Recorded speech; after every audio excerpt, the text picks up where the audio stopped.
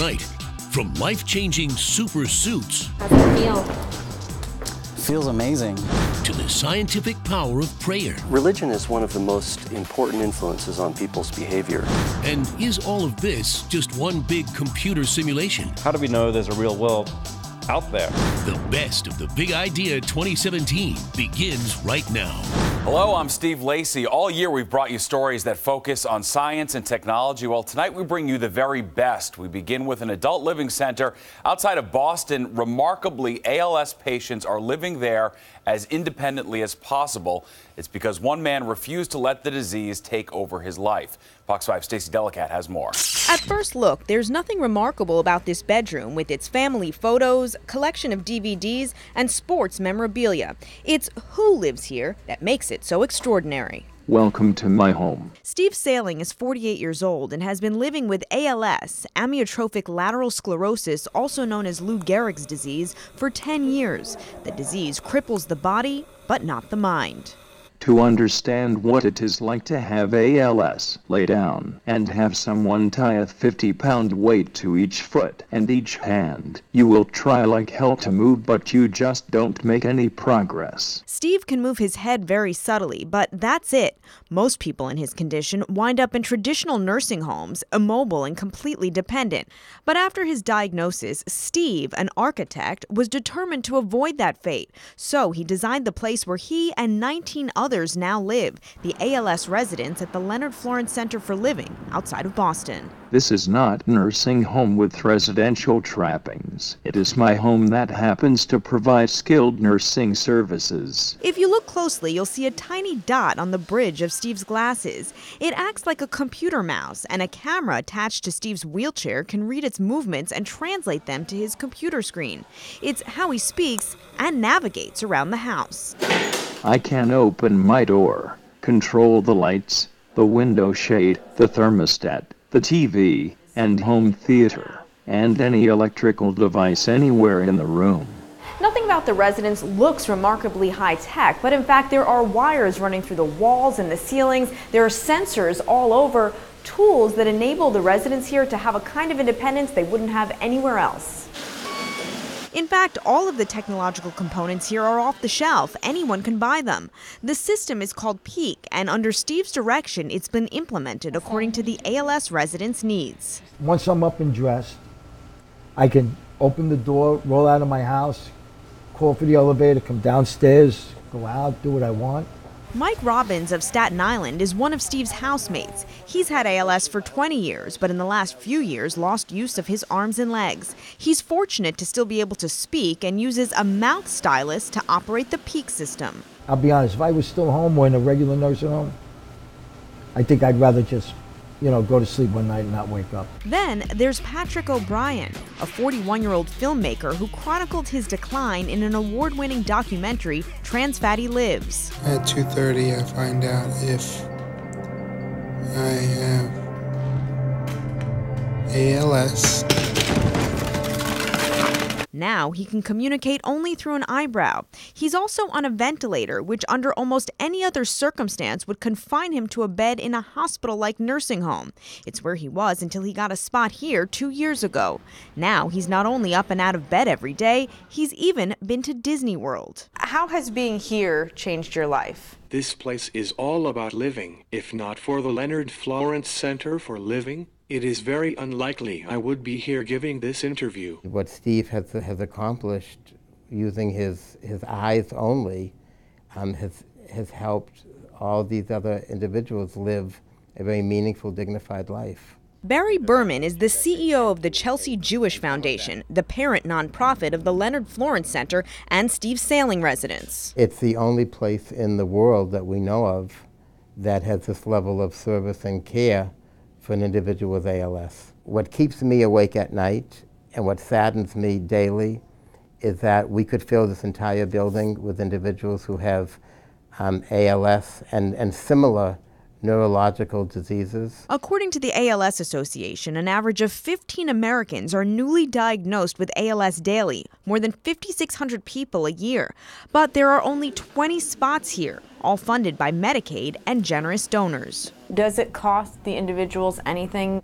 the individuals pay nothing. Berman believes this model could and should be replicated throughout the world, but most ALS donations go to researching a cure. I hope I live long enough to see a day when, when this disease is cured.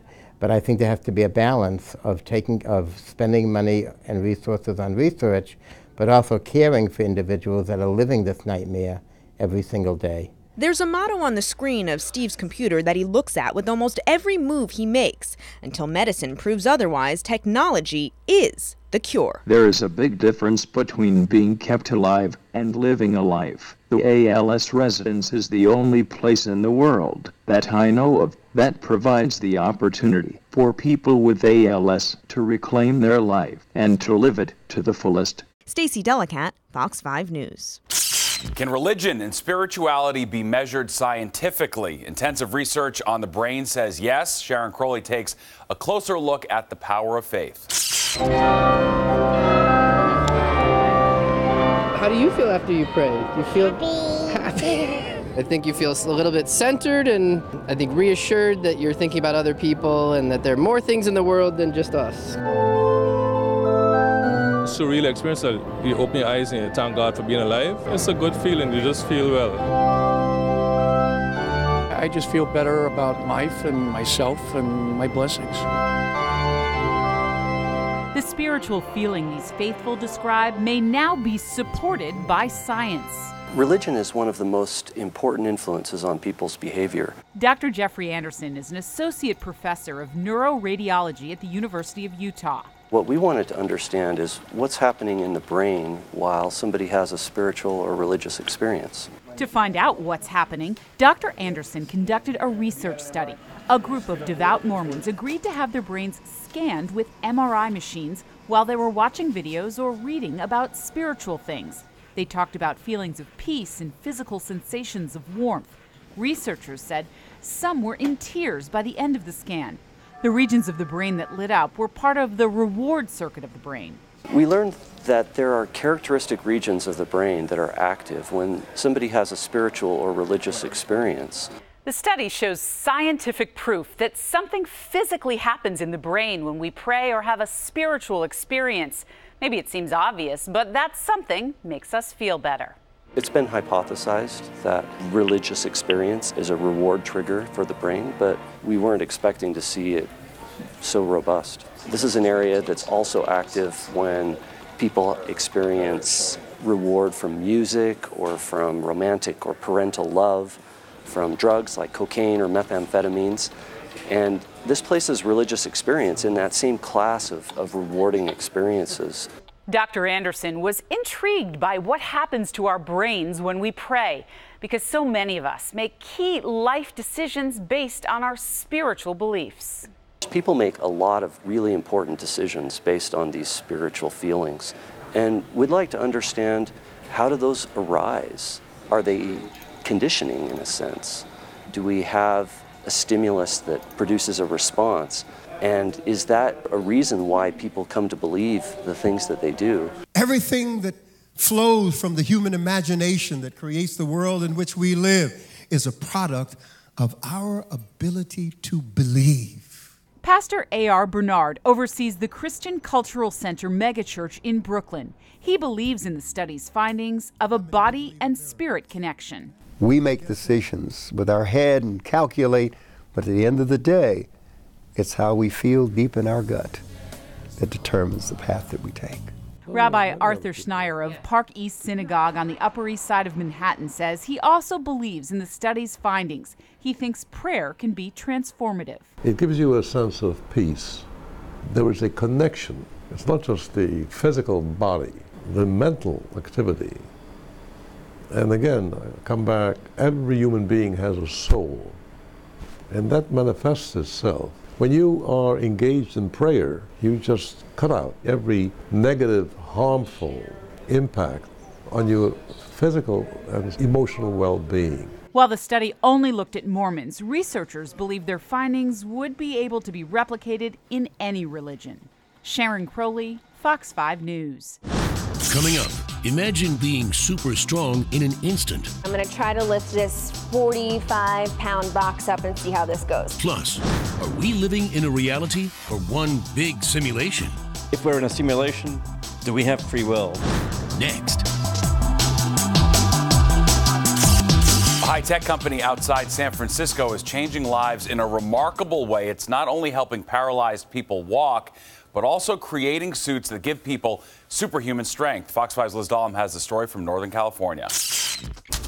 Carrots, we have green beans. In reality, is life being disabled is still life. You still can do everything that anybody else can do. It's just slightly different or slower. Stephen Sanchez grew up here in Northern California, and one summer day before his senior year of high school, everything changed. I was into BMX, so riding uh, bicycles and doing jumps and tricks and stuff like that. When I first went off the jump, I didn't feel right in the air, so I threw my bike, and then all of a sudden, that threw me, twisting me. Steve landed on his back and broke his spine, making him a paraplegic at just 17 years old. Getting thrown into a wheelchair and a whole new lifestyle. Something Steve's girlfriend Ashley, who he shares an apartment with, knows all too well.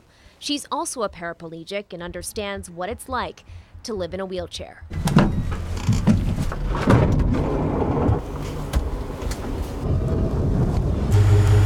Steve drives himself an hour every day to get to work. The office is here in Emeryville, California, at this very nondescript building.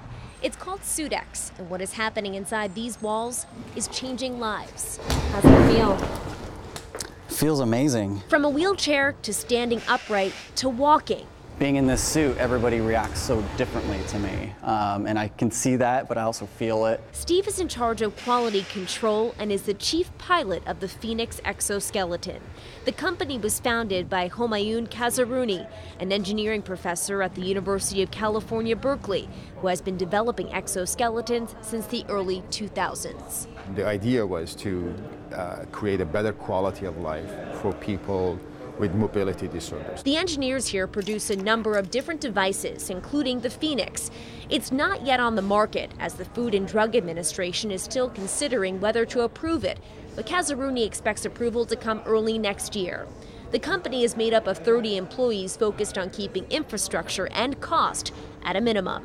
We need little amount of hardware, most emphasis on the software, to create minimal device that they can afford it. The office, which is in an old warehouse, has a relaxed Cali vibe. All of the engineers at suitX are former students of Kazerooni's at Berkeley. Passion is first. Once there is a passion, then th that passion drives to learn.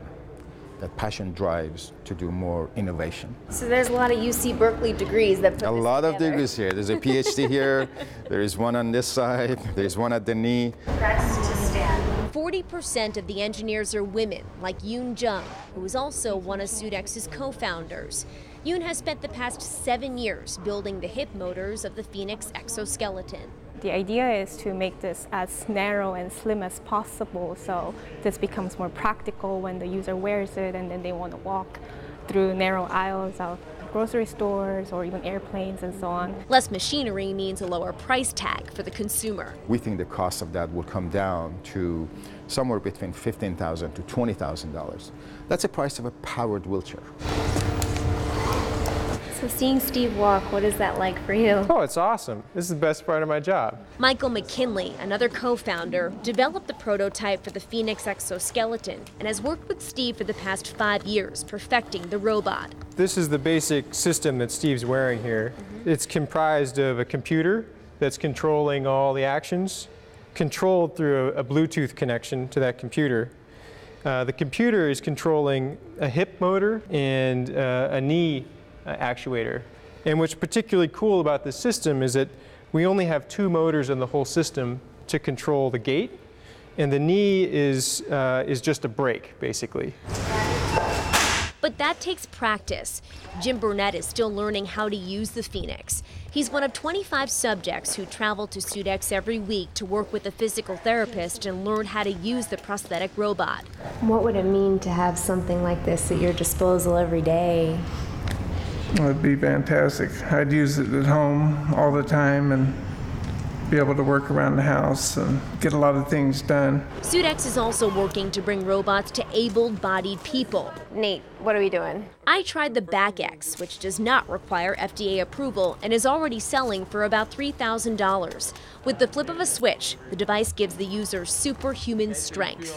So the back X is off right now, and I'm gonna try to lift this 45 pound box up and see how this goes, okay? So, okay, heavy, really heavy. I'm gonna put it down. Ooh. And now I will turn the back X on. Flip of a switch, and it comes up a lot easier. How am I able to lift that?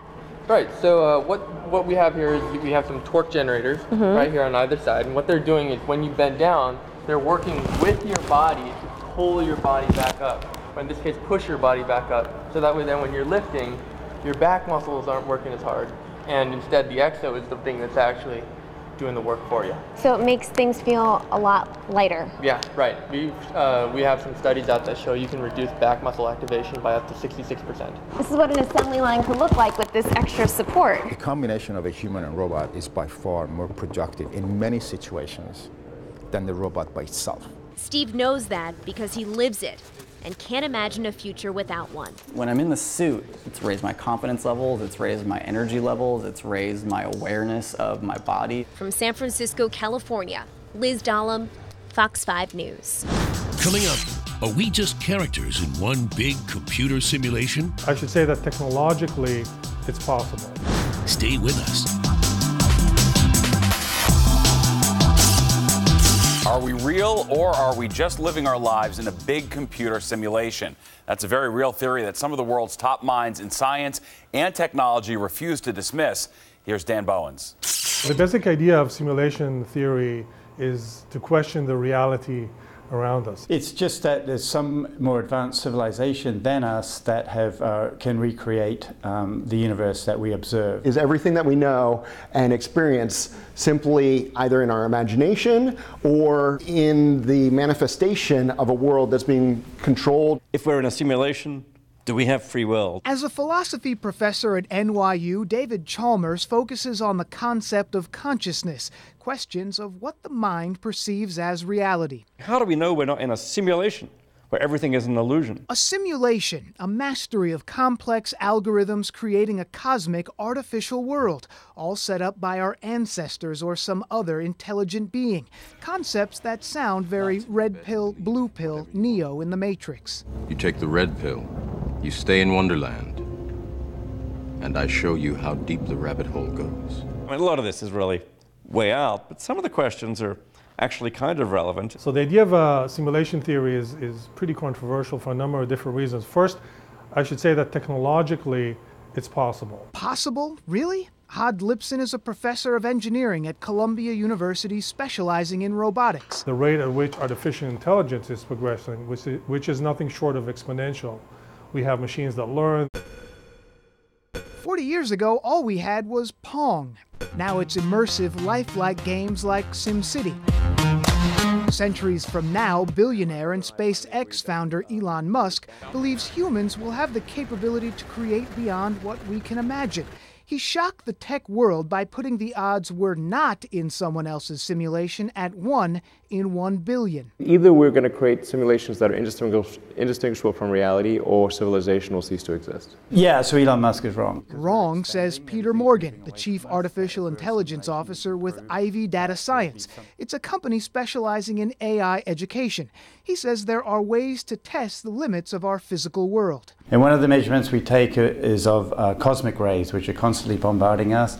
And if we're living in a simulation, then the actual energy distribution will be asymmetric. So far, good for us. He says everything is lining up. Wouldn't you want to go back to you know any number of eras and experience those? Because, says Winslow Burleson, director of the NYU X Lab at the College of Nursing, what the debate really boils down to a fundamental question of humanity. Why are we here? You can't necessarily know if there's a God or not. You can take it on faith. These are very profound questions. And I think for me, I try and, and be the best person I can be. I try and explore and discover and foster that in other people. That's life as we know it.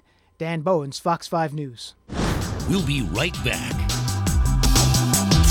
In addition to these stories, Fox 5 has a long list of big idea reports that spotlight how the world is changing in science and technology. You can catch all the big ideas Fox 5 has done on our YouTube page.